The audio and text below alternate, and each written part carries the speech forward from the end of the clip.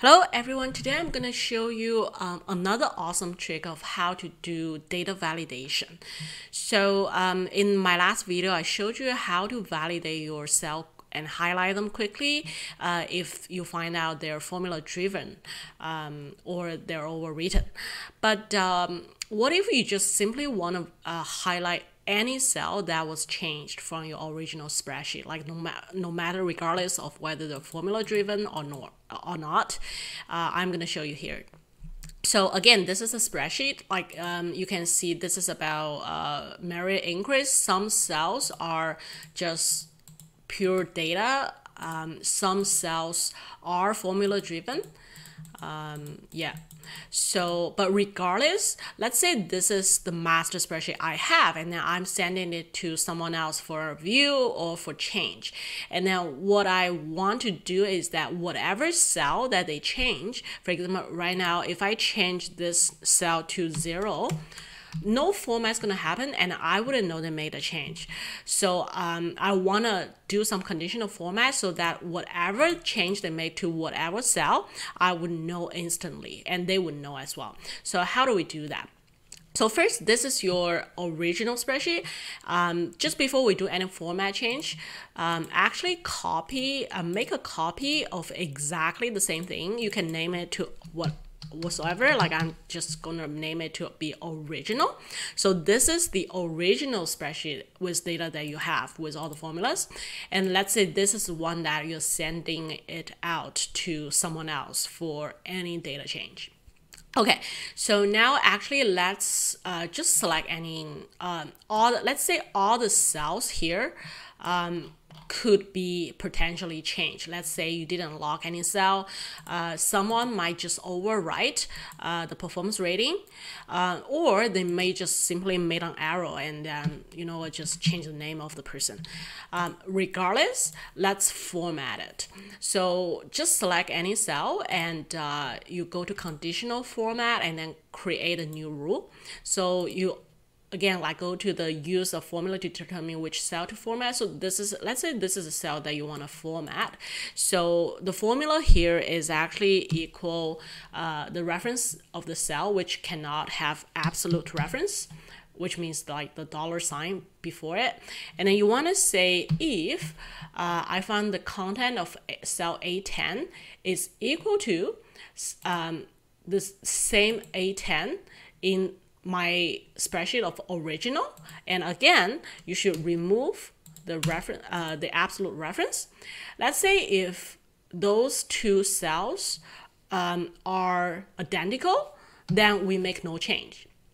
But if they're not identical, which means that the statement is false, then we format it. And then you click on the format and you can format it to uh, whatever you want. So for example, in my case, I want to format it to be uh, yellow fill, uh, but uh, with uh, like red uh, color and I want to bold it uh, for myself as well.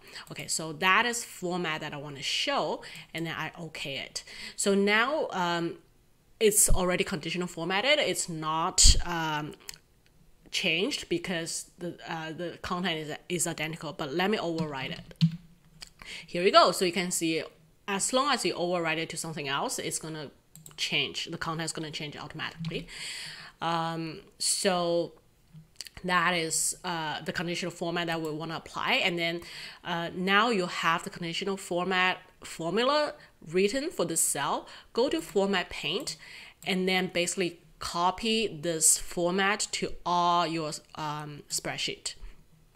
And then you can see it's actually uh, already overwritten. And then sometimes like you might need to uh, read, like change the format for some of your cells. For example, here I want it to be um, in percent, uh, the date of hire, I want it to be in the date format.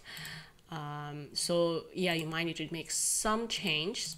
But then the awesome thing here is now you can do whatever change you want and then Excel is going to tell you instantly. So for example, this comp ratio, um, well actually the comp ratio should be in the percent um, as well.